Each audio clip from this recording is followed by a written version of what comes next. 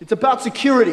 What is that supposed to mean? Money! What are you talking? He's got a lot of money! Now I hate you, you Well, I hate bastard! you. If you leave here, I hate you. You, what, Hey, you have you if you paid here. attention to anything that's been happening? I guess not. I think I must have misread all of those sentences. I guess you did. You're bored! You're bored you know it. You wouldn't be here if there wasn't something missing. Aaron, son of a bitch! Would you just stay with me? Stay with you. What for? Look at us, we're already fighting. Well, that's what we do. We fight. You tell me when I'm being an arrogant son of a bitch, and I tell you when you're being a pain in the ass. Which you are, 99% of the time. I'm not afraid to hurt your feelings.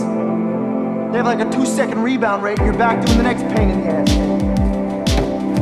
So what? So it's not gonna be easy. It's gonna be really hard. And we're gonna have to work at this every day, but I wanna do that because I want you. I want all of you, forever, you and me, every day. You do something for me? Please?